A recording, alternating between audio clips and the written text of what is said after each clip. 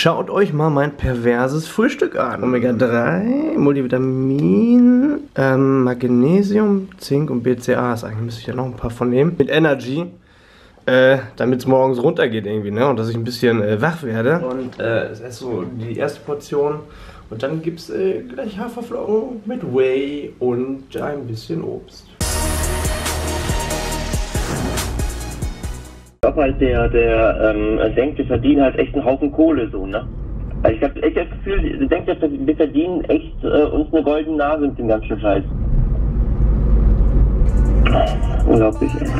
Oh wow, you be calling on a weekend. I woke up like what's up on the streets and kept the bag in my pocket like a rollie. Yeah, I go slowly, but only when I pretend. All these people growing up, they wanna be us. Einnahmen und äh, Ausgaben am Start muss auch gemacht werden. Das ist immer so die nervige Sache, ne? wenn man selbstständig ist dass man äh, die Dinge auch regelt, noch rechtzeitig. Aber da kann ich jedem nur empfehlen und da bin ich auch so der Typ, ich habe einfach da nicht die größte Lust drauf. Da sollte man sich dann wirklich auch einen Steuerberater holen, ähm, weil man spart einfach Zeit, bevor man sich da rumärgert und Fehler macht. Lasst es lieber professionell machen, dann habt ihr keinen Stress am Ende. Wenn man selbstständig ist, kann man auch einiges absetzen. Handyrechnung, Internetrechnung, meine Homepage, die Domains, äh, Sofortüberweisung, Paypal-Module. Ähm, meine Rechnung von den Einnahmen sind vor allem die Trainingspläne, Sponsorengelder, Umsatzsteuer muss dann berechnet werden und so weiter und so fort. Und das nervt immer, muss gemacht werden. Mal wieder ein bisschen Food Prep am Start. Hier sind es wieder insgesamt 250 Gramm Reis für später, für jetzt gleich. Fleisch am Start und äh, Gemüse. Ist immer relativ ähnlich, aber ich kann euch empfehlen, wenn ihr euch Tupperdosen holt, holt euch große, hohe Dinger, die man gut verschließen kann. Die sind echt ganz cool. Ähm, ja, ich habe mir übrigens, guck mal, dieses Buch hier geholt. Power, die 48 Gesetze der Macht. Ja, dieses Buch äh, soll die Menschen unmenschlich machen, zu viel Macht verleiten. Äh, habe schon von dem einen oder anderen gehört, der sich das sehr, sehr äh, genau zu ja, Gute getan hat und dementsprechend Charakter etwas verändert hat. Äh, ja, ich will einfach mal einen Blick reinwerfen. Ich hoffe, ich kann das etwas distanzierter sehen und werde dann nicht die Menschen danach verarschen. Da bin ich, äh, nackt irgendwie gerade. Weiß auch nicht wieso. Wahrscheinlich, weil so warm hier drin ist.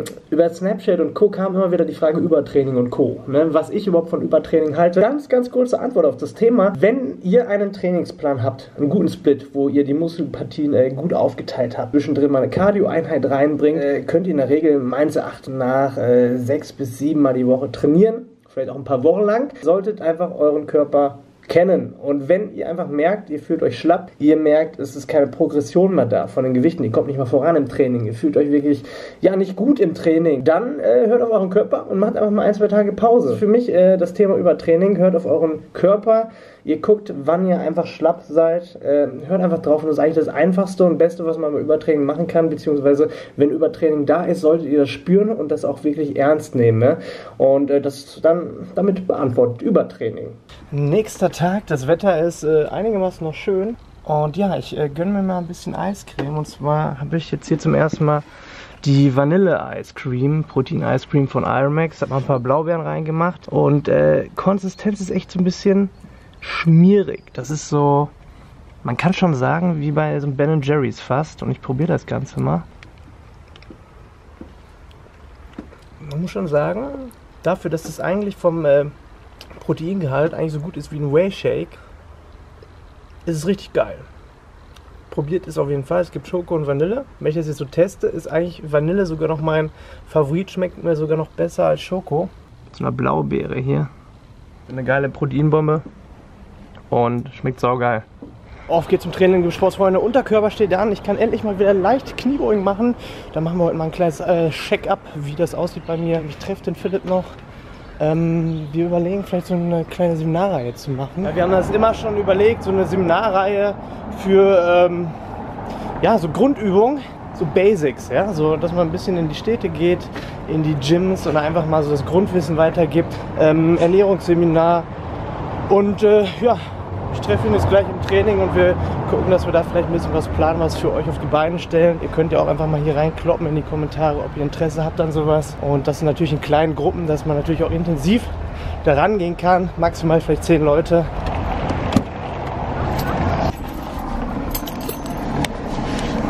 Ja, aber erstmal schön Gewichte wegscheppern, ne?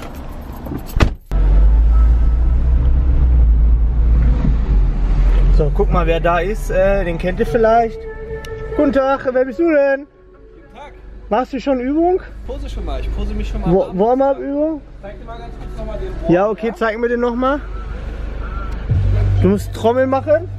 Achso. Okay, jetzt brauche ich noch einen Parkplatz, ey. Ja, hier ist richtig Mangelware mit Parkplätzen. Tag, da ist mir. Und äh, mach ganz schnell. Philipp, wann gehen wir eigentlich mal hier in die Grimango Bar? Ey, muss eigentlich, ne? Das ist die geilste Karaoke Bar. Da sind Muddis und Touristen. da geht's richtig ab. Da kann man sich mal richtig schön reinschnallen und äh, schön singen. Touristische Muttis. Schön Wolle Petri. So, hier sind wir jetzt in dem schönsten Fitnessstudio. Philipp probiert hier gerade was Illegales. Was ist das denn, Philipp? Steroidpulver. Steroidpulver für ihrem Training. Ich hab's mal äh, ausprobiert, Valhalla. Ich mach jetzt da einen Löffel rein, ne? Das schmeckt so eklig nach, nach Cayennepfeffer oder so. Also ich finde es auch nicht gut. Ich hab's nicht gemerkt. Das riecht, finde ich gut. Ich finde, es riecht ein bisschen wie Shisha-Tabak. Ich hoffe das nicht, ja. Eklig. Das ist richtig eklig. Eines, einer der ekligsten Booster, den ich mal probiert habe. Und klumpt auch so schön. Guck mal, richtig am Klumpen hier. Nach langer Zeit hier mal wieder an die Kniebeugen. Äh, wenig Gewicht. Du wisst ja, mein Rücken äh, ein bisschen im Arsch und dementsprechend erstmal zum Absichern natürlich ein Lendengurt dabei. Nicht übertreiben, aber ich bin froh, dass ich wieder langsam reinkomme in die Bewegung.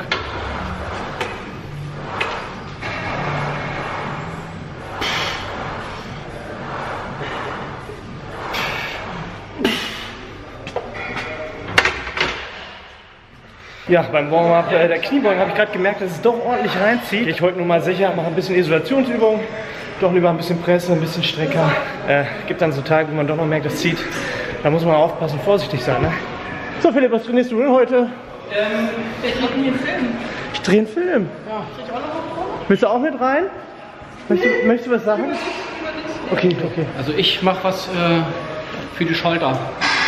Ja, sieht aber gut aus, ne? Aber was immer so das Phänomen ist, so, man sieht in der Defi immer krasser und breiter aus als in, in der Masse eigentlich, ne? Weil die Konturen besser kommen. Ja, nicht so schwammig aus, so, ne? Ja, also wenn, wenn ihr im T-Shirt gut aussehen wollt, fresst viel, macht Masse. Wenn ihr im Tanktop oder oberkörperfrei, Ja. Defi, ne?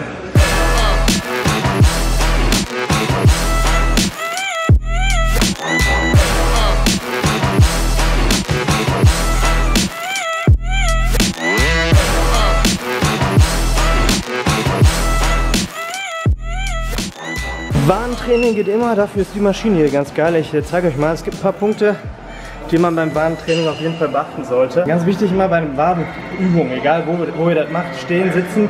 Ihr seid immer mit den Zehenspitzen vorne, relativ weit mit den Zehenspitzen drauf, nicht mit dem kompletten Fußball. Und dann ist es ganz wichtig, dass die Beine nicht gestreckt sind, weil wir nicht aus dem Oberschenkel irgendwie mithelfen wollen, sondern die äh, Waden schön isolieren wollen. Behaart sieht immer noch schlechter aus. Und dann ganz wichtig, so weit wie es geht in die Streckung gehen, ganz hoch, so weit wie möglich in die Streckung. Knie bleiben gebeugt und dann so weit wie es geht auch in die Dehnung wieder runter, ja. Ich sehe immer noch viele, die machen immer nur die Streckung. Viele machen nur den hier, ja. Und dann hoffe ich mal, dass ihr eine einigermaßen gute Genetik habt, dass das auch funktioniert, ne? Ey Leute, diese Waden, das ist einfach nicht fair. Ich mache jeden Tag was dafür und es will einfach nicht. Mann, jetzt sieht man hier, guck mal, der Schollenmuskel ist relativ weit oben und der Wadenansatz bei mir ist erst hier. Das heißt, diesen ganzen Bereich hier, den kann ich nie zum Wachsen bringen, weil hier der Muskelansatz nicht ist. Der ist hier oben erst. Verkackter Mensch, verkackte Genetik. Ich äh, bin jetzt hier gerade bei Philipp in meiner Karre drin, weil in Berlin muss man sich das nicht geben, mit zwei Autos zum Essen zu fahren Nee. oder am Parkplatz zu suchen. Das ist Unsinn. Ja, bei mir war ein bisschen ärgerlich heute, war echt keine gute Einheit. Aber so ist das, ne? Immer weitermachen. So, jetzt gehen wir mal scheppern. Äh, was ist da indisch heute mal? Ah, ich, mir fällt halt auch nichts Besseres ein irgendwie so, ne? Wir haben schon alles durch mit Berlin. Das, das Schöneberg sind wir hier, ne? Schöne Werkstatt. Ein neues Ufer ist auch was für dich. Neues Ufer. Das ist dann, was ist das genau, Philipp? Neues Ufer? Ähm, ein Café für Für homosexuelle welche vom anderen Ufer? Genau, genau. Genau, so ist wahrscheinlich auch die Definition. Das ist schön, ne? Ja, Ja, so richtig genau. Sommertag heute, ne? Ja, Das ist Wahnsinn, hätte ich nicht gedacht. warm, richtig schön. Träumchen, ne? Ja. das ist schön, ja. Ja, Das ist richtig schön hier. Ja. Mogul oder Mogli oder wie auch immer. Philipp im äh, Army-Outfit und ich sehe auch gerade hier, die Menüs heißen T1, T2, T3, T4. Ich glaube, ich war bei der Ausmusterung T5. Da war alles kaputt. T5 bei T5 ist alles vorbei. Ich hatte Lendenwirbel, war ich raus. Und hier kannst du sogar T13 kriegen. An dem Tag bei der Musterung war, da waren alle bekifft. und haben Wie bist du auch ausgemustert worden? Ähm, ja. Ja. Ich war nicht zu, ich war nicht zurechnungsfähig. Achso, ja. Das ist auch mal gut. Ich wollte einfach Aber nicht. ich habe nur gedacht, unnötig. Ich fand, wollte einfach nicht. Ich dachte auch, Menschen erschießen ist nicht meins. Ich habe eine kurze Frage. Die ja. T4, kann ich die auch mit Hähnchen noch bekommen? Gibt es da eine Möglichkeit? Vielleicht für einen Aufpreis oder so? ja, wir Dann, dann hätte ich gerne die T4 ähm, mit Hähnchen noch. Ja. Mit viel Hähnchen. Vorweg äh, ein kleines Süppchen, also mit so ein bisschen Käse drin, so Rahmkäse. Tada! Essen fertig. Philipp hat sogar Spinat, das sieht jetzt ein bisschen aus wie so ein, ja, wie so ein Kuhfladen, so ein bisschen, ne? Bisschen wie Durchfall. Was schmeckt, ne? Super gut. Bei mir gibt es, äh, ja, das Ganze mit Currysoße, Erbsen, Hähnchen, Reis und ein bisschen Salat. Relativ standardmäßig. Ja, passt nach dem Training. Frozen Joghurt. Da schauen wir mal. Wir wurden gerade von dem Chef relativ unfreundlich hier unterbrochen. Die Kamera guckt mich an. Also wenn ihr Frozen Joghurt in Berlin äh, holt, geht nicht hier hin. Ich will auch nicht, dass mein Kind gefilmt wird. Würde ich und niemals tun. Okay? Würde ich- Die Kamera bitte auf, ich filme mich selbst. Nein, nee, tut sie nee. Wir sind immer noch sehr schockiert hier von den Reaktionen beim Frozen Joghurt Laden. Wir haben tatsächlich uns nur selbst gefilmt, wollten uns äh, ein leckeres äh, Joghurt-Eis äh, gönnen. Wir wurden so angefahren, dass wir deren Kinder filmen und sonst was. Äh, wir haben hier wirklich die Vlog-Perspektive und es sind noch nie fremde Kinder in meinen Videos aufgetaucht. Das würde ich halt auch nicht wollen, ehrlich gesagt. Aber so, man ne? sieht mal, Aber- wie empfindlich man ja manche Menschen Nee, sind. ich glaube nicht, dass es empfindlich ist. Ich glaube, das sind wirklich tatsächlich Menschen, die sonst nicht viel zu tun haben und in dem Moment sich einfach mal aufspielen wollen. Und ähm, Dementsprechend, äh, Leute, Ja. wenn ihr in Schöneberg bei diesem Laden seid, geht da lieber nicht rein, weil wenn schon der Besitzer so äh, unverschämt weiß, äh, mit potenziellen Kunden und mit auch vielleicht Ja. einer Werbung, die damit verbunden wäre, für Ja. ihn umgeht. wer weiß, was da mit dem Und- Joghurt äh, alles so los ist. Jetzt haben wir auch gar keine Lust mehr auf Frozen Joghurt nach so einer Geschichte. Nee. Ganz schlimm. ja, weil hinten noch ein bisschen reinzieht in den Rücken, gönne ich mir mit meinem Massagestuhl hier ein bisschen Shiatsu. Kann man sich äh, nach dem Training gut mal reingönnen. Eigentlich ganz lustig, das Ding. Saison 2006 Quartalofensiv an 4-5-1 heute. Denkt man ja erstmal gar nicht. Der Angriff wird was werden. Dembele. Ja, hier am Abend ein bisschen relaxen, so, dann äh, spiele ich gerne mal ein bisschen FIFA, beziehungsweise teste gerade das Neue an, FIFA 17. Äh, bin eigentlich gar nicht so der Zocker, ne? Der eine oder andere von euch bestimmt viel intensiver. Ich habe vor, vor zehn Jahren oder so haben wir so ein bisschen äh, Counter-Strike mal gespielt. FIFA ähm, ist tatsächlich das einzige Spiel, was ich mir irgendwie jedes Jahr so mal gönne. Irgendwie bin ich jedes Jahr aufs Neue eher so ein bisschen enttäuscht, weil sich irgendwie nicht viel ändert, so von der, von der Spielphysik oder von der Grafik oder sonst was. Das Einzige, was eigentlich immer cool ist und neu ist, ist ähm, der, der Kader der Mannschaften, ne, der geupdatet ist. Ich freue mich als Dortmunder jetzt wieder mit Götze zocken zu können oder Dembele oder so. Also dann spiele ich das so ein paar Wochen und dann wird schon wieder langweilig. Ich bin auch grundlegend so, wenn ich was spiele, nicht der Typ, dass ich irgendwie so ein, so ein Spiel elendig lang durchzocken kann, sondern ich muss mal so, so 10, 15 Minuten daddeln und dann habe ich auch keinen Bock mehr. So, ne? Nächste Mahlzeit frisch aus der Tupperdose und äh, ab damit in die Mikrowelle. Ein paar Minuten aufgewärmt. Schmeckt das natürlich dann nicht mehr ganz so geil wie an dem Tag, wo man es kocht. Meal Prep. Vorbereitung ist alles. So, lecker essen. Ein bisschen trocken, wenn man es aus der Mikrowelle holt, aber naja, ich habe wenigstens was Vernünftiges.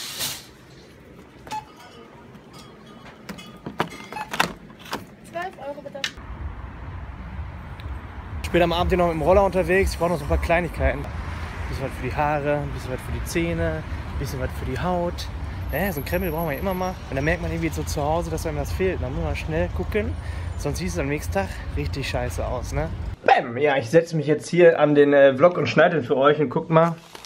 Diese Hafer-Cookies, ne, die sind echt der Knaller, Sportsfreunde. Richtig, richtig geil. Gibt's auch von einer anderen Marke. Äh, wenn ich irgendwie cheate oder so, ist das so eine Sache, die ich mir gerne reinknalle, äh, damit ich wach bleibe. Ein bisschen Energy. Zucker darf sein, ist ja Masse. Und dann mache ich das Video für euch fertig und äh, hoffe, euch hat äh, dieser kleine Einblick in mein äh, Leben gefallen. Bald gibt es mal wieder einen neuen äh, Görki-Vlog. Ruhig die Anregungen hier unten rein, was ihr sehen wollt. In dem Sinne haut rein. Dankeschön. Ciao.